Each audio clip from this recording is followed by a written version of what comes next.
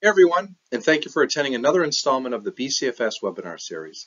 Today we'll be focusing on Trimble's Connect AR. Before we get into it, let's do some introductions. Myself, Jason Labonte, I work on the channel development side of Trimble. Lee Korsak will be interviewing later from the DC Beane Construction Company on his implementation for Connect AR. In today's installment, we'll be covering these five main topics about Connect AR. First, starting with the product intro, feature overview, examples of Connect AR, FAQs, and ending with a compelling interview with Lee Korsak. First off, what exactly is Connect AR, and maybe even in its infancy, what is augmented reality?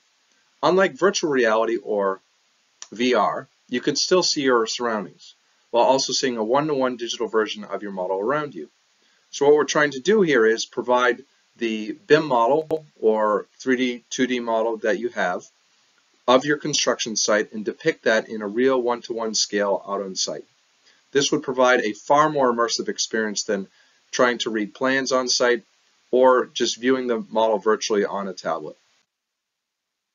With the multitude of industries Trimble works in, it's important to point out that Connect AR is agnostic when it comes to common formats in BIM, as shown here.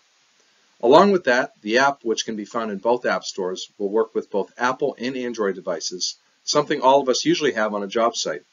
More on the compatible models later in this presentation. AR tools are meant to bridge the physical gap, connecting constructible data between the office and field. Trimble's mixed reality portfolio empowers customers to do more with the data they have, amplifying and accelerating the return on investment in their digital transformation journey. Ultimately, our goal is to continue to connect field and office as much as possible. This helps make your office data actionable on site while providing ever important insight or feedback to the office. Many of you may have seen our MR solution, the Trimble XR10, shown in the right-hand photo on this slide. This tech is still readily available while Connect AR fills the gap between the full immersive experience with the XR10 and traditional model, model viewing that you see on the left-hand side there. Now let's get into some features. If you've ever heard of Trimble Connect, the cloud-based and desktop platform remains the nucleus of your data collaboration. Connect is our common data environment and collaboration platform designed specifically for the construction industry. In this sense, the models viewed in the field will live here within a project. In the field, you can capture to-dos, as shown there, which will then upload to Connect and can be reviewed back at the office. As far as placing your model on site or how to actually get your virtual model into the real world, there are a few ways to do this, but we highly recommend the use of QR markers, which you can see in that first photo. You can consider these control points used to anchor the virtual model, and we'll see how this works in some upcoming animated examples. After model alignment, there are a multitude of different tools within the app, including a transparency and cross-section toggle to do a, Q, a quick QA-QC check and see how your project is progressing. Lastly, in the feature overview highlights, you're able to take measurements along with recordings as built info for positioning, lengths, and areas. So let's get into some actual examples. And here we have a video for you that'll actually walk you through on how to get that virtual model out on site. So initially, we're going to be placing a QR marker on an object that's physically actually in the field that you're going to be viewing. So within this model, we've placed that QR code. Typically, it's an offset of an actual corner. You then, then print out the actual QR code to be put out on site. And you'll see in this next frame that you then bring it out to the job site and measure to that specific point. Now, if you're already loaded with a total station, you're ahead of the game here. You can actually locate that QR marker if there's a point within FieldLink and very accurately place that QR code marker as opposed to utilizing a tape measure, though tape measure is okay in this case. So as you can see, after she anchors the model or utilizing it as a control point, she now has her 3D model out on site to visualize what things are going to look like before they're even installed. And as we move along, we'll see another example upcoming in the next video. So this video gets a little bit more involved on the application side. This is another QR code marker for a different model. Once that's placed, you're now able to see all the different trades here. You can see some mechanical piping there as well. Uh, and you're going to be seeing some toggling between transparency cross section, and also field of view. So you can see that we're coming back in, going back out. You'll see the transparency move next to see more of the model or less of the model. And then there'll be a cross-section view to peel back the, the figurative onion here. Here you can see an outside application and also see some underground work there. This is showing a facade of a constructed building and also the pylons going into the ground there.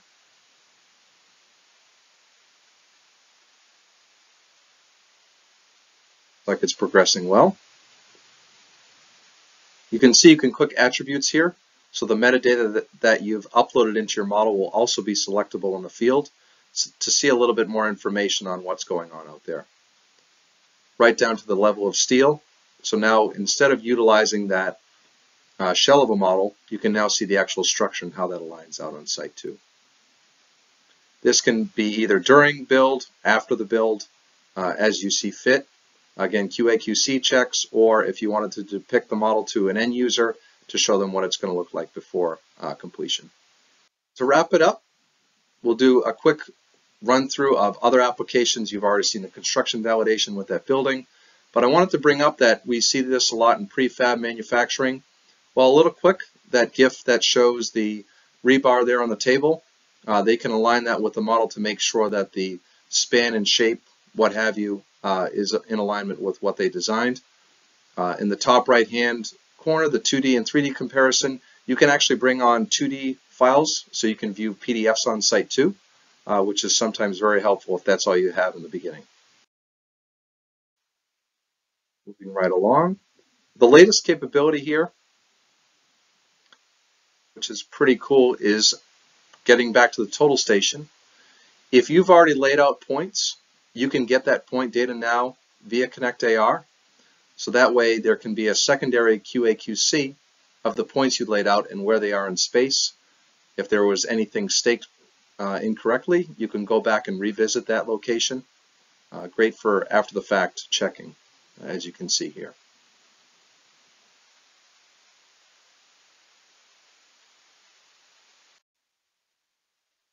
Getting into the FAQs here as promised, uh, here's a review of what works. While Navis integration is mentioned to still be in beta phase, it can still be uploaded and we have users. Lee will actually touch on that in his interview upcoming. Um, it can be uploaded through Connect Desktop and manipulated there for use. So rest assured, um, you can certainly use coordinated models in this viewer. Also, as promised, supported devices. So you can see here the technology um, limitations of older devices, though this does go back a, a, bit as far as what devices are compatible, all the way back to the iPhone 6s. At this current recording, we're at the 14, so that certainly gives you a decent span of technology. Last but not least, uh, licensing, some new changes this year. We now offer project-based licensing on top of named user licensing. Uh, you can see the differences there. If you'd like a any more information on pricing, please reach out to your local uh, Trimble contact from there. Without further ado, please listen in on the great conversation I had with Lee Korsak of DC Beane about their impressive integration and future of Connect AR. Well, hello everyone. Uh, today we have with us Lee Korsak with DC Beane Construction out of Charlestown, Massachusetts. Lee is the construction simulation manager for DC Beane and has been using Connect AR for a little over a year now.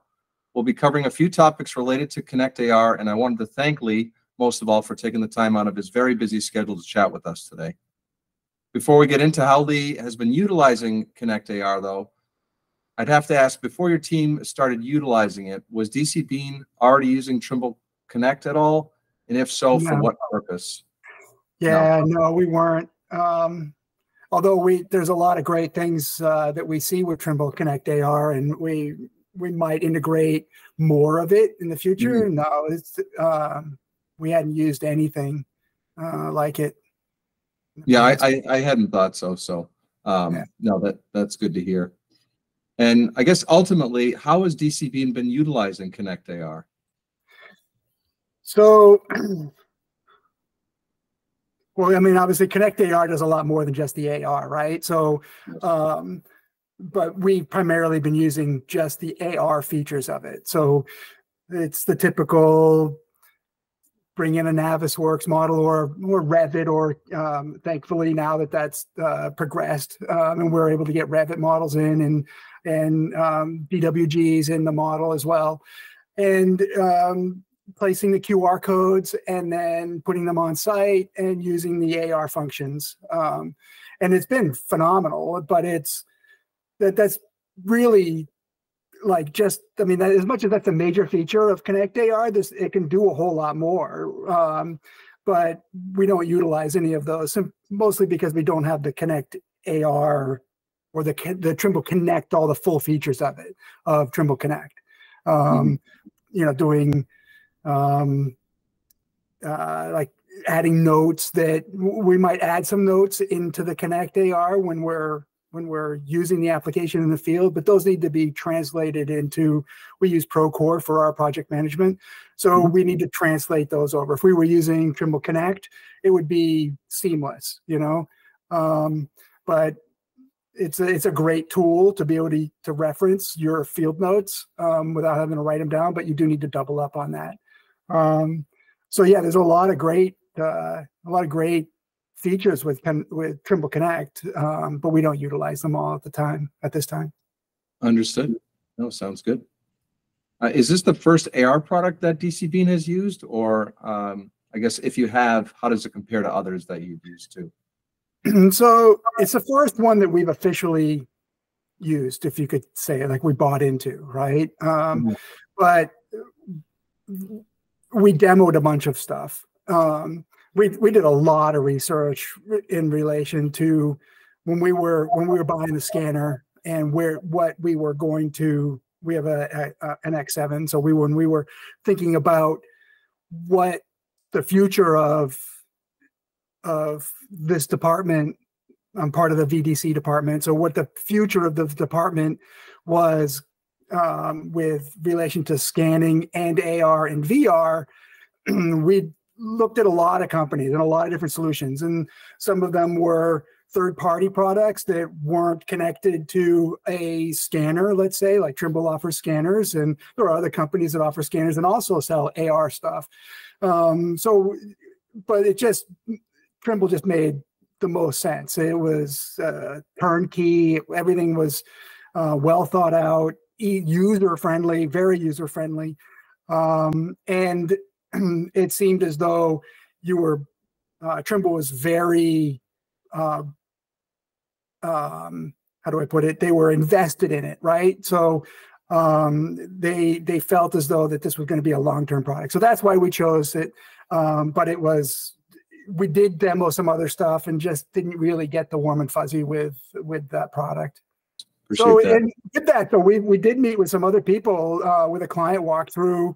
Um, they had um, they had people from their from VDC departments and engineers, and that were working with um, with one of our clients on overseas. And um, when we were demoing uh, what we were what we were doing and the success that we were having using Connect AR, they were completely blown away. They were they had a totally different approach and um, completely changed their mind after we demoed. And um, we set, I guess we could say we set them straight. um, so hopefully their, uh, you know, their overseas projects are, are going as well as ours, you know. So. For sure. Oh, I love that. Awesome. And then I, you've actually already alluded to this a little bit already. Um, I guess what about Connect AR has helped improve your projects thus far? Oh, well, it's gained, uh, it's given our clients uh, much more clarity as to what the project is. I mean, you know, it's you're going to typical construction project, right? You know, let's say it's pharmaceutical uh, manufacturing, and you walk the uh, whether you know it's the the, the PMs or um, the facilities guys, and you walk them through and you sort of point at the ceiling, and this is that, you know, this is where this is going, and you know, you show the progress. But when you can walk through the site in AR, then it's it's an entire it's an it's entirely different, right? So uh, they it, it the questions are reduced. You know, the the the required feedback to the owners or the or the or anybody who's who's interested in the project, right? Um, it could be uh, owners of the of the space, right? You have scientists that might own a lab, and um, the the only thing that they've seen are maybe some 3D renderings that are printed out or a or 2D CAD, and they don't really they can't really comprehend the space. Like how far are is my bench from that wall? Am I going to be able to get a cart through? So being able to to walk through it is it, it's a game changer because you you reduce the rework later on in the project, you get these things answered early. Now, I think that some of this should have been done during the architectural phase of it, but you know, when you're doing design build, um, it's it certainly is. Um, you, the times times are constraints are really tight, and the um, um, the decisions that need to be made are important. So, if you can get feedback from the interested parties early, and using Connect AR allows us to do that. Um, we uh, and the response that we've been getting from the owners and all of the interested parties have been phenomenal. And um, the, the the changes that have been made along the way have been um, critical because we've been able to uh, make adjustments way ahead of time when you're not opening up walls or ceilings or rerunning pipe or electrical because a use point wasn't quite in the right spot, you know, that they didn't know it was going to be that far away. Now you get all those answers uh, early on and it it saves everybody time and money, you know. Awesome. No, and I, I could definitely see, I mean, this is being implemented now. And my next question would be, how could you utilize this in the future? Uh, I assume a lot more of that and coordinating and making sure you're not, you know, having that coordination beforehand before issues arise. Um, but I guess looking forward, do you, could you see this expanding into other realms, or, or how how would it do that for you? Oh, absolutely.